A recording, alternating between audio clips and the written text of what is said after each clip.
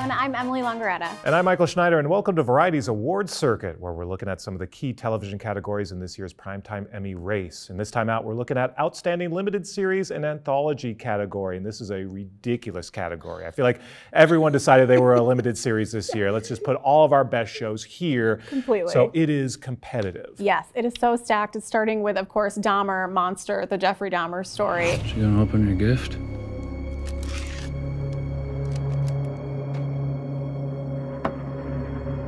Evan Peters, of course, has already won many awards for this. He won the Globe, of course, and it won the BAFTA for International Program, which is a very big success. And I think this is Ryan Murphy's really big hit for Yeah. Netflix. Of course, a lot of the supporting cast people are talking about, especially Niecy Nash. Yeah. So I think that those two are probably going to get some love. And the show overall, as controversial, it's a very, very heavy topic, but people are watching it. It's one of those shoe-ins, basically. Definitely a front runner, and also big enough that Monster has become a franchise now. so there'll be many more monsters to come. So Beef is a show that, again, it could be a comedy, it could be a drama. They finally decided to stick it in limited. It's like let's just split our difference and put it here. I've been hustling my whole life. And look where it's gotten me. A real fantastic revelation, both from Ali Wong and Steven Yeun, a show that kept you on your edge of your seat. I mean, this show made me nervous the entire time I was watching because I just didn't know when the other shoe was going to drop and who I was rooting for. At some point, I'm rooting for Ali Wong, but then at some point, I'm rooting for Steven Yeun. And at some point, I'm rooting for neither of them. At some point, I'm just rooting for everyone else around. But then a lot of the other people in the show are terrible as well. and, you know, living in Los Angeles, we also have all been there. I'm two steps away from being the star of Beef myself many times. Road So rage this is real, y'all. show that's relatable. It's fantastic cast, a lot of great stars who we haven't seen do this kind of work before. For Steven and Ali specifically, I feel like most people know Steven from the Walking Mm-hmm. Dead universe. Most people know Ali as a comedian. It was so great to see them both take on this new role and crush it, both of them. Yeah. I mean, you were really 100% forgot about anything they'd done in the past, and you were so in it with them from start to finish. Yeah. Of course, the very intense story helped. Yeah, and the bad choices that they make throughout. so many bad decisions. So let's go back to some uh, mass murderers. We took a second away from it, but let's talk about Black Bird. Yes, Black Bird, of course, has been a big conversation already in the awards world. Why are you looking at me like that? Like you know me. Paul Walter Hauser won the Globe for supporting, and of course, Taron Egerton has been nominated for multiple different awards. The two of them are really, really something to watch on the screen, and it is a disturbing murder story, once again, based on a true story. But that is what people like to watch. We've learned.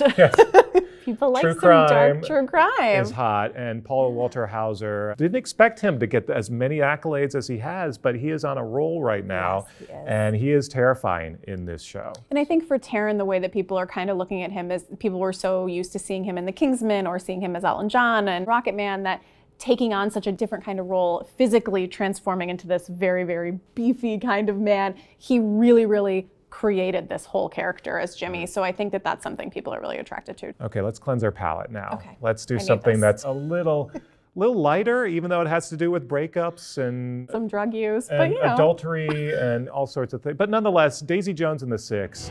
Billy, you wrote a good song, not a great one. Did you guys want to record something or fight more? I'm fine either way. Start with the music. Just so so excellent to the point where it topped every iTunes chart before the show Yeah. even came out. Everyone was downloading the album. Riley Keough, who's the star, who says that she's never sung before, is fantastic as Daisy Jones. I mean, these songs are all bops. Every single one. The fact that they all actually became a band. Yeah, I mean, while they were making this, it, of course, COVID hit, so they spent a year forming a band over Zoom Yeah. and practicing nonstop, and it paid off because every single performance they do is so so great. And then the acting on top of it Yeah. was just really really great. The entire supporting cast, the women especially, I would say Riley, of course, Camila Morrone, and Suki Waterhouse, also Yeah. just so so great. But I think overall they just did a fantastic job also of recreating what it was like to be making music in Los mm-hmm. Angeles in the 70s and mm-hmm. you know the nod to Fleetwood Mac without Yes. it actually being about Fleetwood Mac. That's an example of a great adaptation of a book where you know you had one idea when you read the book but then when I actually saw it on screen it's like it came to life. And that's hard when it's such a beloved story. I mean, Daisy Jones and the Six was a beloved book that people really, really couldn't get enough of, and And Let's talk about another book that was a- let's talk adapted. about it. Fleishman is in Trouble, FX show that really, really blew up on Hulu. I did not become a doctor to get rich, okay? I did it to live a meaningful life. Money doesn't buy you happiness. Oh, Toby, of course it does. What, are you crazy? Lizzy Caplan, I would say, blew my mind, but Claire Danes, of course, mm. is supporting, also really, really crushed it. The story was intense. It made me a little anxious. Mm-hmm. I laughed. I cried. I think that it had the full spectrum of emotions, which is really what we always talk about shows that make you feel. So I think that that's why this show is something that people are talking about. Yeah, and it was also, you know, the fact that Taffy Brodesser-Akner adapted her own book, and so knew exactly who these characters mm-hmm. were, how she wanted to see it on the big screen, and I think that paid off with this series as well. 100%. I mean, some adaptations really do work, sometimes they don't, and sometimes they're done twice in a year of a true story. But you know, Love and Death, still the Candy Montgomery story, played for a second time around. I'm very attracted to you. Oh. Would you be interested in having an affair? Solid, solid work by Elizabeth Olsen, uh, who really brings a smart eye to, to mm-hmm. Candy. It's a show that starts out being one thing. It's kind of comedic, those first couple episodes early on, where she's like, I think I want to have an affair. no big deal. And Jesse Plemons is there. Jesse Plemons, by the way, fantastic in everything he does. So excellent. I mean, he's one of the kings of limited series, by the Truly, way. yes, he just 100%. just pops up, kills it, and then moves on to the next thing. And again, I say kills it because what's a show without a murder? And every show needs a murder. And this show's murder is very, very intense and very bloody. And Lily Rabe, of course, is it's not a spoiler alert because it's a true story that happened years and years ago. Yeah. Of you know, obviously plays Betty, the one who gets murdered, and it is graphic and kind of amazingly done visually. So I think that this is something people are talking about. Yeah. People love Elizabeth Olsen. I mean, Yeah. she can't do any wrong in my mind, even though she's literally murdering someone in this show. People love Elizabeth Olsen, they love murder. Perfect, perfect for this show. And now let's give our picks for shows bubbling under that we would like voters to consider. I'm gonna throw to you to go first this time. Oh, really? I'm gonna, right. I'm gonna mix it up. Well, you know, AI scares me because I think it's going to take over my job and Emily's job one day. But before AI does take over our jobs, we had a chance to really enjoy Mrs. Davis on Peacock. Is it okay if I proxy? Sorry, she'll speak to me through here, and then I'll just repeat whatever she says. Not she.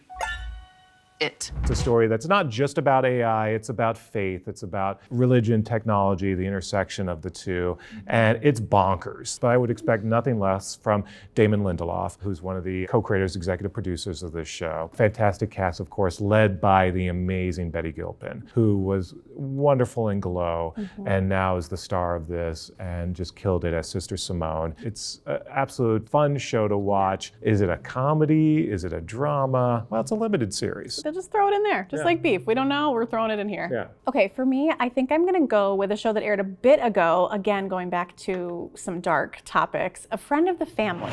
Good morning, Jan. It's gonna be a great day. Hey, who do you love the most? Brother B! Brother B! Brother B!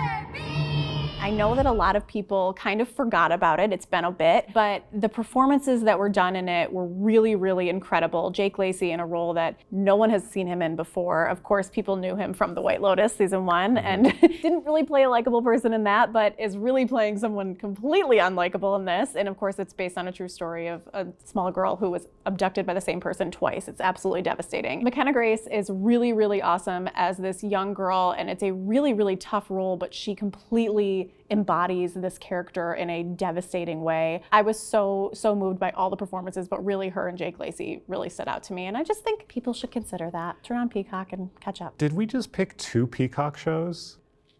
I promise they're not sponsoring I us. I Don't know what that means, but that is it for now. Join us again next time for another edition of Award Circuit. Thanks for watching.